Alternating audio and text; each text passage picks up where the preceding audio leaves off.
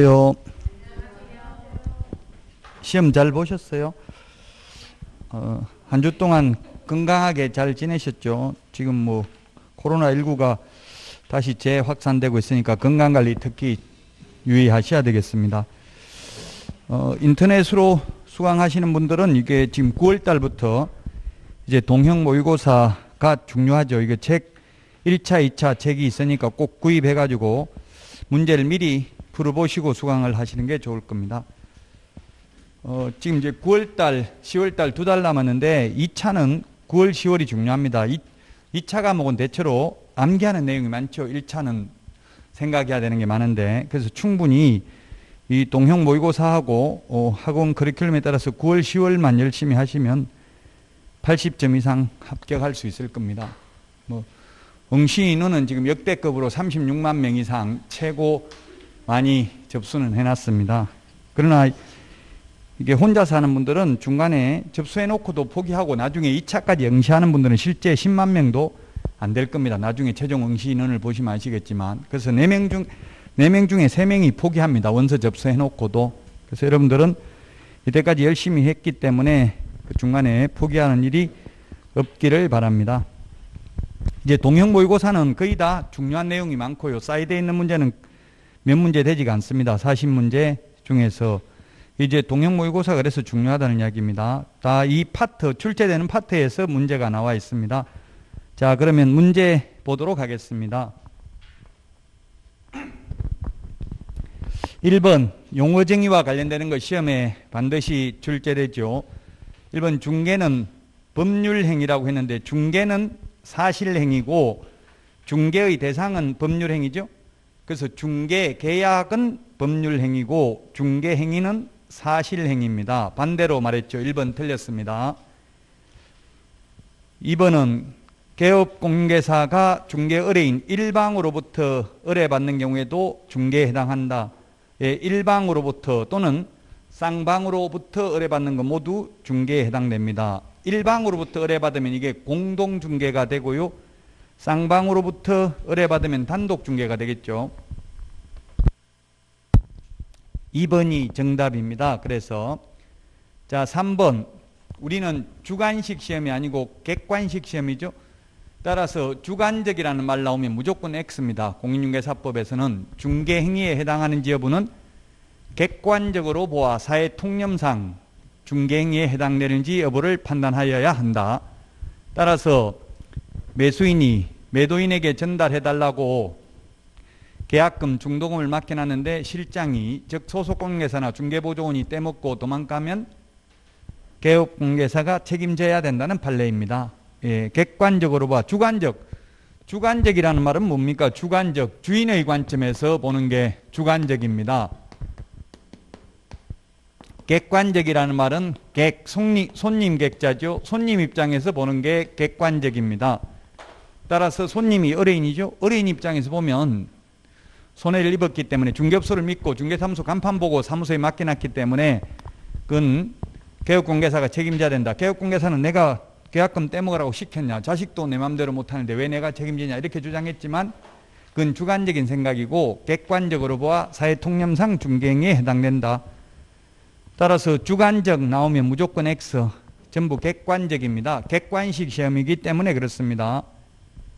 자, 그 다음에 4번 관리대행, 분양대행, 그 다음에 정보 제공 또는 상담, 컨설팅 뭐 이런 것들은 중개에 해당되지 않는다. 따라서 중개 보수 규정이 적용되는 것이 아니라 관리 대행 수수료, 관리 대행 수수료, 컨설팅 수수료 이런 거는 중개 보수가 아니기 때문에 많이 받아도 상관이 없다는 뜻입니다. 자, 그 다음에 5번 개업 공개사가 아닌 일반인이 중개를 하는 경우에도 무등록 중개업자로 형사 처벌을 형벌을 받는다. 중개를 하는 것은 상관없습니다. 중개, 중개업을 하면 무등록 중개업자로 처벌받죠. 업, 직업으로 하면 처벌받지만 한두 번 중개만 했다고 처벌받는 것은 아닙니다. 따라서 무등록 중개업자의 보수 청구권은 인정되지 않습니다. 그러나 업으로 한 게 아니고 우연한 기회에 한두 번 중개를 하고 보수를 받기로 했다면 사회 통념상 과다하지 않는 보수는 받아도 됩니다. 자, 그래서 1번에 답 2번이 되겠습니다. 용어 정의에서 한 문제 반드시 출제됩니다.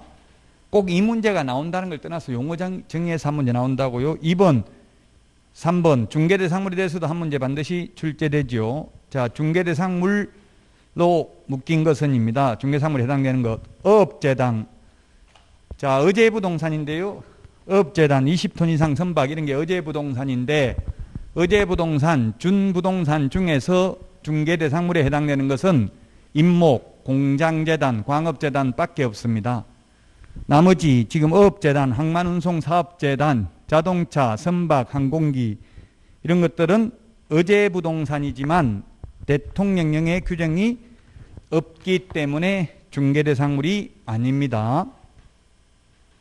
그래서 기억, 니은 중개상물이 아니고요. 디귿, 유치권의 성립, 유치권, 법정 지상권, 법정 저당권은 성립에는 중개개입 여지가 없죠. 이전, 양도할 때에는 중개대상 권리입니다. 리을은 중개대상물이네요. 등기된 환매권은 이전이 가능합니다. 이전할 때는 중개대상 권리에 해당이 됩니다. 환매권이라는 것은 다시 살 수 있는 권리가 환매권이죠. 그래서 리얼이 답이고요. 그 다음에 미엄은 이걸 소위 권리금이라고 합니다.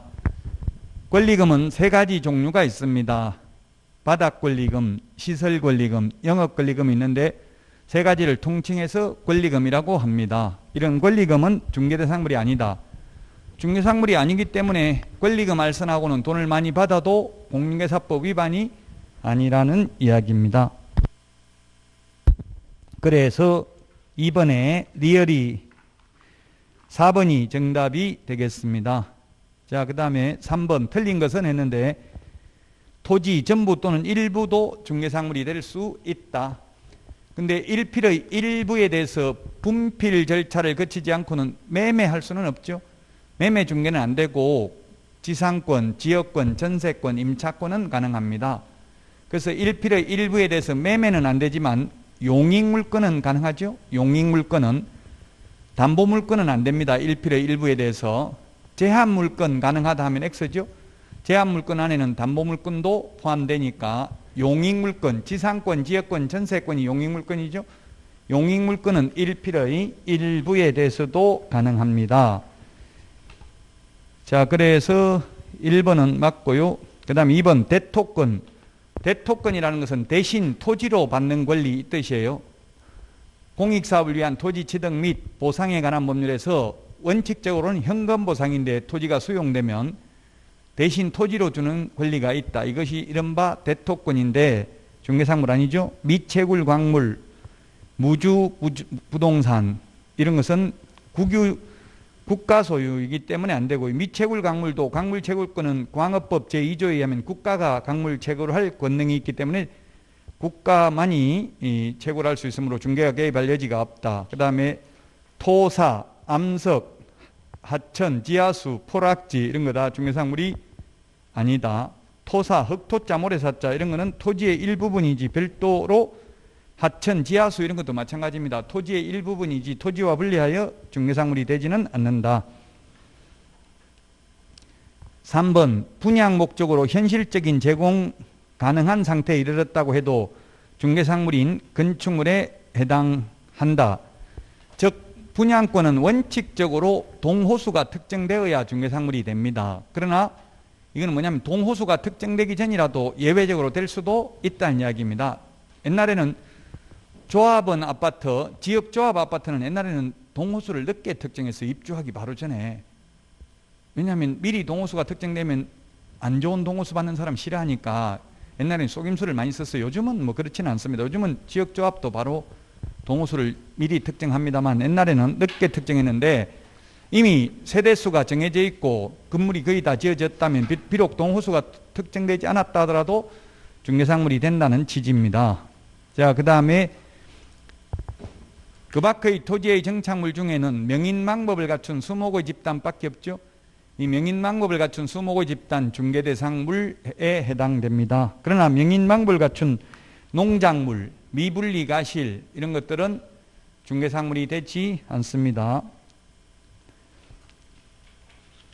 가식의 수목 이런 거 다 중개상물이 되지 않습니다. 5번이 답인데 공장재단, 광업재단은 재단 전체가 하나로서 중개상물이 되죠. 재단에서 분리된 토지, 건물, 공업 소유권, 생산, 설비 이런 것만 따로 떼어내서 중개상물이 되지도 않고 거래의 대상이 되지도 않는다. 일물 일권주의 예외라고 했습니다. 물건은 여러 개인데 소유권은 하나밖에 없습니다. 재단 전체가 하나로서 거래의 대상이 되며 또한 중개 대상물이 된다. 그래서 5번이 답입니다. 공인중개사법에서 가장 어려운 부분이 지금까지 한 지금 세 문제입니다. 이게 왜냐하면 법조문에도 없고 판례가 없는 것도 있어요. 해석상 문제니까 관념적이니까 가장 어렵습니다. 민법도 총칙이 가장 어렵잖아요. 앞에 있는 부분이 가장 어렵습니다. 모든 과목은. 자, 그래서 이제 5번이 답이고 이제 4번부터는 별 문제 될 게 없네요. 4번. 등록에 관한 설명으로 틀린 것인데 1번이 답이네요. 등록 신청하고자 할 때 보정 설정해 등록관 정의 신고해야 된다. 오늘 제가 이거 핵심 비교 정리 프린터 최종 개정된 내용을 반영해서 오늘 내드렸습니다. 이제 시험 볼 때까지 이거 가지고 가시면 되겠습니다. 바꾼 내용을 간략하게 말씀드리면 13번, 1, 13번, 1번, 2번 뒤에 있는 내용 바뀌었습니다. 이거는 9월 달부터 바뀔 예정입니다. 미리 지금 바뀔 걸 예정해서 내드린 거고요. 13번. 지금 바뀐 것만 옛날 프린트 참고해서 보시고 어, 구체적인 거는 이제 다음에 또 그 파트 강의할 때 말씀드리고요. 그 다음에 19번 바꾼 내용을 보면 19번에 밑에 두 번째 까만 별표 시행규칙입니다. 자격정지 업무정지는 옛날에 시행령으로 돼 있었죠. 시행규칙인데 오타를 수정했습니다. 시행 자격정지 업무정지는 시행규칙이잖아요. 가태료의 구체적 기준은 대통령령에 있죠. 또는 시행령, 대통령령 같은 말이고요. 시행규칙, 국토교통부령 같은 말입니다. 시행규칙, 즉 국토교통부령에 되어 있고요. 자격정지 업무정지의 예, 구체적 기준은 자 그래서 어 13번, 19번을 바꿨고요. 그 다음에 25번 25번에 보면은 이게 8월 20 8월 21일부로 바뀌었습니다. 그게 맨 마지막에 밑줄 지났는데 인터넷 표시 광고할 때 표시해야 되는 게 그게 맨 마지막에 보면은 소재지 면적 소면 가중 그 기라고 했는데 기타였는데 그 맨 마지막 기타가 기타가 대통령령 대통 어, 국토교통부 장관이 정하여 고시하는 사항이었거든요. 옛날에는 그 고시사항이 시행령으로 격상됐어요. 올라와 버렸어요. 그래서 고시했던 내용이 지금은 시행령으로 바뀌었는데 그게 뭐냐면은 건축물을 인 경우 총 청수, 사용 승인일, 방향, 방 개수, 욕실 개수, 입주 가능일, 주차 대수, 관리비 이게 8월 21일부로 신설됐다고요. 그래서 요거는 기본서, 문제풀이 책, 요약집에도 반영 안 돼 있는 내용입니다. 8월 21일 날 신설됐으니까 예, 그래서 요거 체크만 해 두시고요. 그래서 지금 뉴스에 요즘 나왔잖아요. 허위 매물 싹 사라지고 20만 건이 사라지고 지금 그렇게 됐다고. 이게 허위 매물 올리면 500만 원 이하의 가태료죠. 인터넷 표시 광고할 때 이런 거 표시 안 하면 100만 원 이하의 가태료입니다. 지금 청수 이런 거 표시를 광고를 안 하면 자 바꾼 것만 지금 말씀을 드리고 있습니다. 다시 구체적인 건 하고요. 그 다음에 29번에 뭐 잘못돼서 바꾼 건 아니고 29번에 거기에 동그라미 4번 밑에 까만 별표를 하나 신설했습니다. 상가 하도 이게 많이 틀려가지고 인터넷에 질문하는 분이 많아서 부산의 경우에는 최우선 면제 받을 때는 광역시에 해당되고요. 우선 면제 받을 때에는 부산은 과밀억제권에 해당된다고요. 상가. 부산이 상가가 6억 9천만 원, 그 밑에 과밀억제권역 6억 9천만 원 이하인 경우 우선 면제 받지만 최우선 면제 받을 때는 3,800만 원 이하인 경우 1,300만 원만 최우선 면제 받는다고 부산. 거기 또 칸이 없어 못 적었지만 그러면 세종 파주 화성 세파화 세종 파주 화성은 우선 면제 받을 때에는 세종 파주 화성이 5억 4천 이하이지만 최우선 면제 받을 때는 3천만 원 이하인 경우 천만 원까지 기타지에 해당된다고 세종 파주 화성이 자 그 다음에 그 밑에 월차임 전환율 밑에 밑에 까만 별표 월차임 전환율이 주택의 경우 1할 또는 기준금리 2%라고 돼 있죠 이게 옛날 프린트에는 3.5%로 돼 있었어요. 3.5%. 근데 이게 2%로 요게 10월 달부터 바뀔 예정입니다. 10월 달에 바뀌면 시험 보기 전에 바뀌면 바뀐 게 나온다고 시험에 뉴스에 많이 나오는 거 봤잖아요. 월차임 전환율 3.5가 2%로 바뀌었고요. 그럼 기준금리 0.5를 더하면 2.5%가 되는 거예요. 이걸 지금 10월 달에 바뀔 예정인 걸 미리 얘기해 놨고요. 그 다음에 그 오른쪽에 30번에 맨 밑에서 두 번째 까만 별표 2기 2기의 차임액을 연체했을 때 동그라미 4번이 하나 신설됐죠? 주택 계약 갱신 요구 거절할 수 있다고요.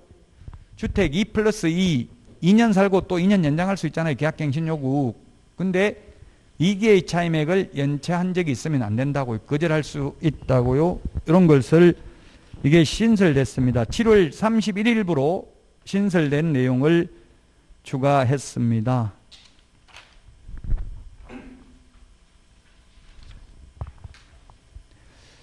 예, 그 다음에는 거의 다 한 것 같은데. 맨 마지막 페이지.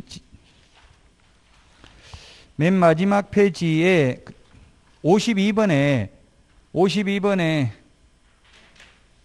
52번에 14번, 어, 14번이 아니고 15번, 15번도 아니고 17번, 17번에 52번에 17번.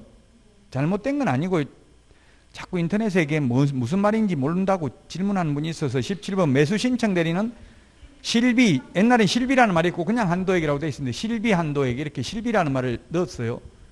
달라진 건 아니고 그냥 원래 실비인데 그냥 한도액이라고 해놓으니까 무슨 한도액이냐고 자꾸 묻는 분이 있어서 실비 한도액에가 실비라는 말을 넣었다고요. 실비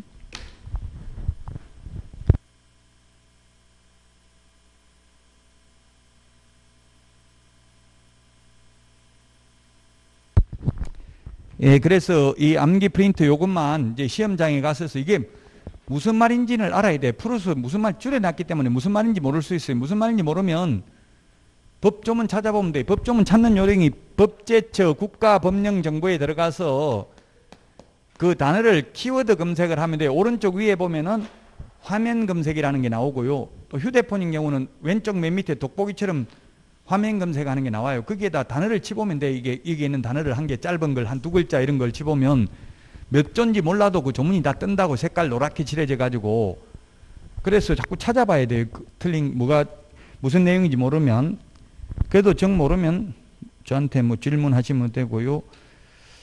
어쨌든 무슨 내용이니만 파악하고 있다 암기하는 걸 나중에 시험장에 가서 암기해도 된다고 두 장밖에 안 되니까 그 대신 계속 봐야지 갑자기 보면 이게 무슨 말인지 다 줄여놨기 때문에 모를 수가 있죠. 80점은 받을 수 있습니다. 이 두 개, 두 장만 정확하게 기억하신다면. 그래서 인터넷에 보니까 이걸 마법의 프린트 이렇게 했다, 했, 하더라고요. 여기서 못 푸는 문제가 없다고 어떻게 이렇게 만드셨습니까? 하고 극찬을 하는 분들이 어, 계시던데 감사합니다. 어쨌든 그렇게 평가해 주시니까. 예. 뭐 여러분들 인정한다는 의미로 웃으시는 거죠. 예, 예, 4번에 1번이 그래서 틀렸습니다. 1번 이제 프린트 56번에 1번에 있네요. 56번에 1번. 56번에 1, 2, 3번 프린트 찾아보자는 얘기 56번에 1, 2, 3번 보정 설정 시기가 나와 있잖아요. 처음에 개업할 때는 처음 개업할 때는 반드시 등록이 돼야 됩니다. 무등록 중개업자는 미리 가입 못하죠. 등록 후 업무 개시 전에 업무 개시 전인데 구체적으로 본다면 등록증 교부 전입니다. 등록증 교부 후 업무 개시 전은 아니고요. 왜냐하면 보정 설정 여부를 확인하고 등록증을 지체 없이 교부해야 되니까 그 그냥 포괄적으로 법조문에는 업무 개시 전에 더 디테일하게 세부적으로 본다면 등록증 교부 전 업무 개시 전이지 등록증 교부 후 업무 개시전은 아니다. 그 다음에 두 번째 분사무소 설치 신고 분사무소 설치 신고와 매수 신청 매수 신청 대리인 등록 신청 요건 미리 가입을 해야 됩니다. 무등록 중개업자는 가입 못한다고 했는데 이거는 무등록 중개업자가 아니죠. 왜? 분사무소는 이미 주된 사무소가 등록이 돼 있고요. 매수 신청 대리인 등록 신청도 법인인 개업공개사나 공인중개사인 개업공개사만 가능하잖아요. 부칙 개공은 안 되죠. 매수 신청 대리인 등록 신청. 자, 그래서 1번이 보정 설정을 해가지고 등록 관청에 등록 신청하고자 하는 경우 미리 하는 게 아니라고요. 등록되고 나서 등록 후 등록 통지서가 있어야 가입이 가능해요. 보정 가입은 1번이 틀렸습니다. 자, 그 다음에 2번은 등록 신청할 때 대표 잔압, 임원, 사원, 자격증, 건축물 대장, 법인 등기 사항 증명서는 제출하지 않는다. 예, 제출하는 서류 우리 암기 프린터 2번에 적어놨는데요. 2번에 동그라미 5번 밑에 까만 별표 법인 등기사항 증명서 건축물 내장 자격증 사본 미제출 있습니까? 밑줄 벌겋게 색칠 좀 하세요.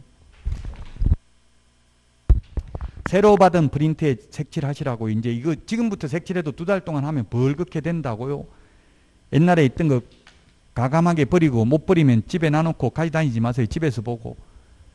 헷갈려요. 한 문제 때문에 당락이 결정돼요. 옛날 거 잘못 알았다가는 골치 아프다고. 한 문제에 전국에 천 명씩 왔다 갔다 해요. 합격자가.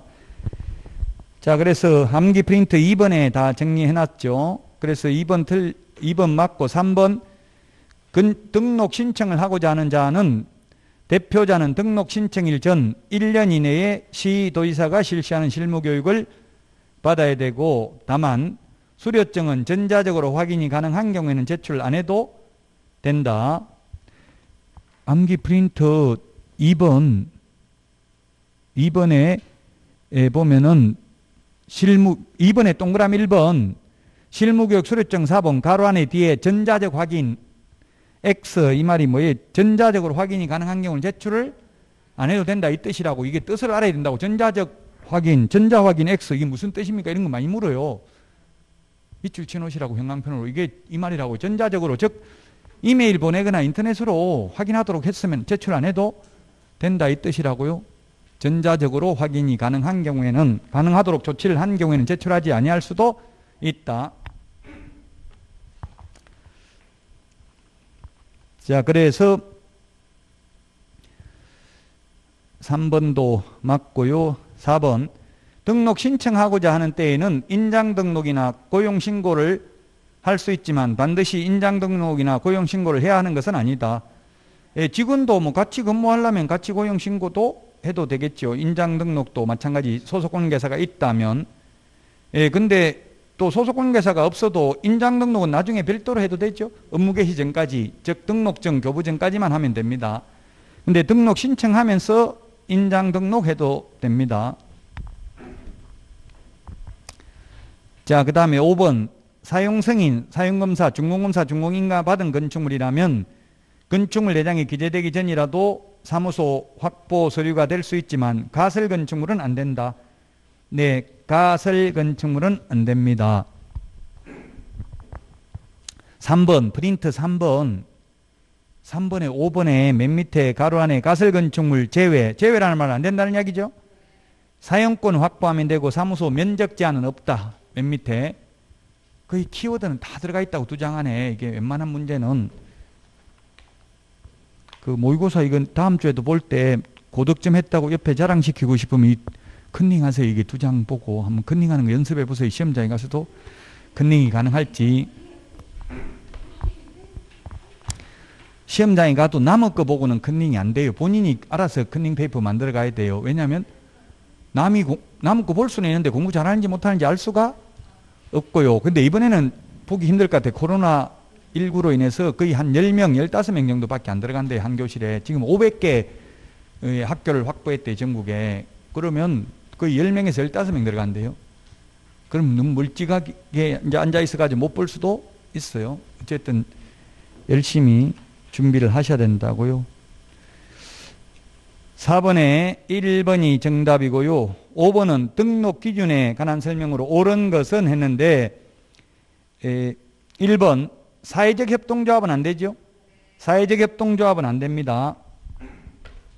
그 우리 프린터 어, 몇 번에 있어요? 3번. 3번에 동그라미 1번 맨 뒤에 사회적 협동조합 제외라고 돼 있죠. 밑줄 치세요. 찾아서, 사, 찾아서 사회적 협동조합은 제외된다는 말은 중개사무소로 안 된다 이 말입니다. 사회적 협동조합은 협동조합 기본법에 의한 협동조합은 자본금이 5천만 원 이상이어야 됩니다. 그러면 농업협동조합법에 의한 지역농협은 자본금이 얼마 이상이어야 될까요? 천만 원이 아니고 자본금 적용이 안 됩니다. 그 우리 암기 프린터 3번의 맨 밑에 특수법인은 등록 기준 책임자 요건을 적용하지 않는다. X 이 말은 적용하지 않는다는 이야기입니다. 적용하지 않기 때문에 자본금 상관없다고 지역농협은 특수법인이니까 다른 법률의 규정에 의해서 중개업을 영위하니까 아까 여러분이 천만 원이라고 하는 건 보정 설정 금액이고요. 지역농협.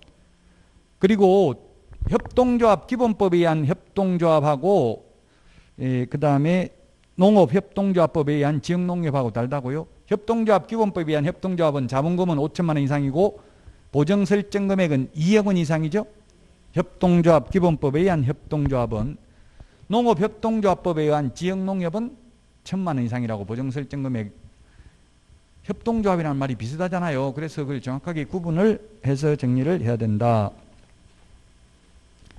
4번에 1번 답이고 5번은 2번이 답인데 기역이 맞고 리을 맞습니다. 근데 리을은 중개업만을 중개업만이 아니라 어 우리 그 3번 프린트 3번에 동그라미 2번 밑줄 쳐놨잖아요. 14조 업무만 이렇게 돼 있죠. 14조에 6개가 있고요. 그 6개는 우리 암기 프린트 24번에 있잖아요. 24번 법인이 할 수 있는 것. 24번에 보면 6개가 있다. 중개업만 X. 그 다음에 디귿은 임원 또는 사원 전원이 연수교육 받는 게 아니라 뭐 받아야 돼? 실무교육. 실무교육. 우리 암기 프린트 3번에 동그라미 4번 모든 사원 임원 실무교육 받으라고 돼 있죠? 밑줄 치놓으세요. 실무교육. 지금부터 밑줄 치더라도 프린트 이거 두 장 벌겋게 된다고 그냥 금방 두 달만 공부하면 너무 깨끗해도 남의 프린트 같으니까 색칠 좀 해놓으세요. 색칠해놓은 거 다음에 보면 누가 내, 내, 내 프린트에 색칠해놨지 이렇게 또 충격받는다고 그렇게 몇 번 한 일곱 번 충격받아봐야 여덟 번째 맞춥니다. 리을 맞고 미음은 2분의 1이 아니고 3분의 1이죠.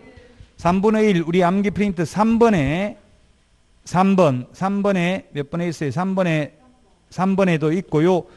또 암기 프리 이게 암기 프린터가 중복된 게 많아요. 똑같은 내용이 왜냐하면 3분의 1을 중심으로 또 정리한 게 있잖아요. 56번에 보면 56번에 보면 3분의 1이 또 두 개가 있죠.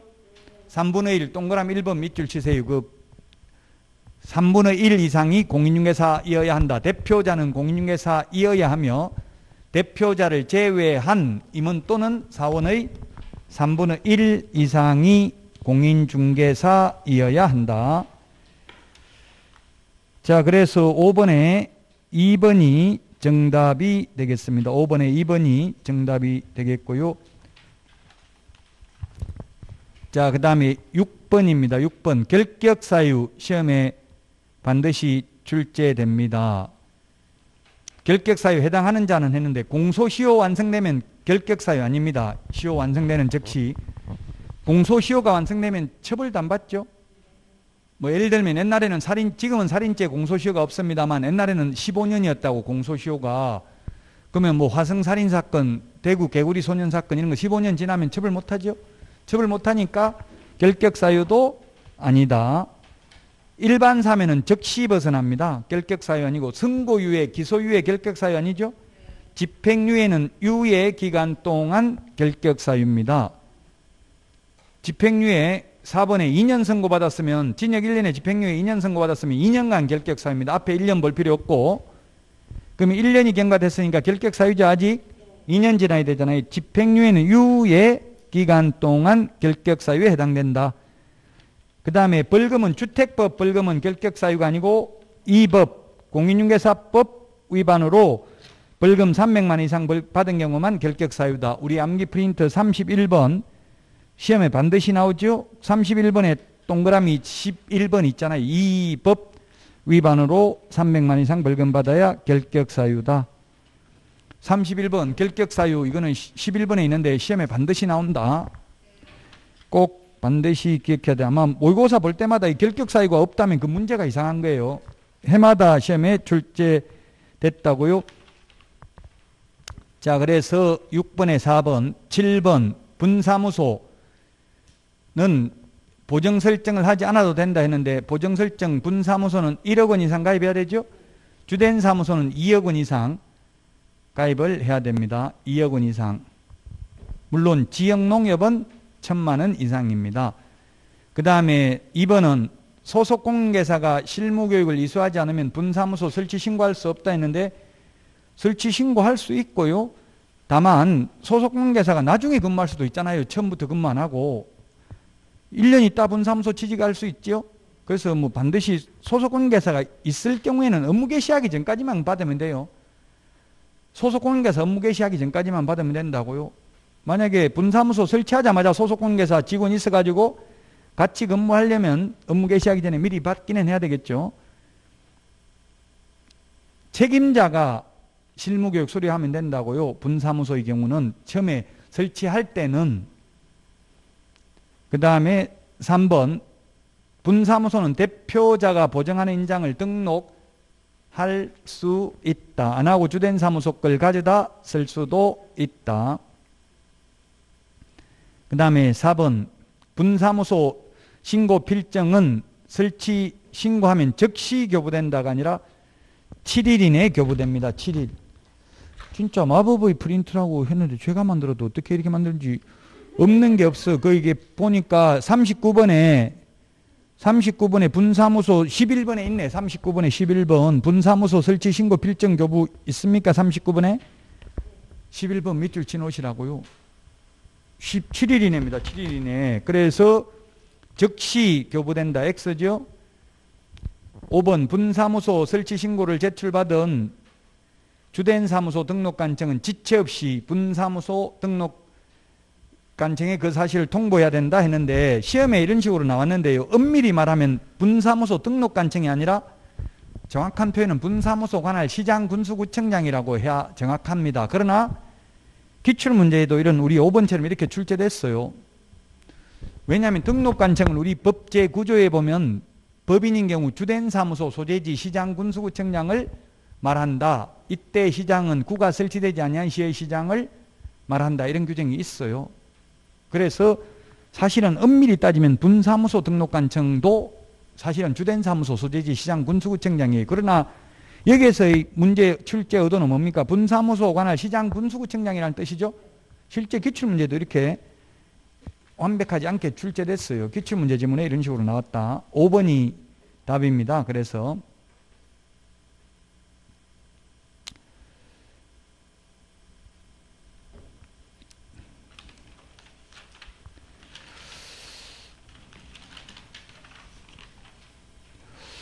어, 여기까지 하고 7번까지 하고 쉬었다가 8번부터 하도록 하겠습니다.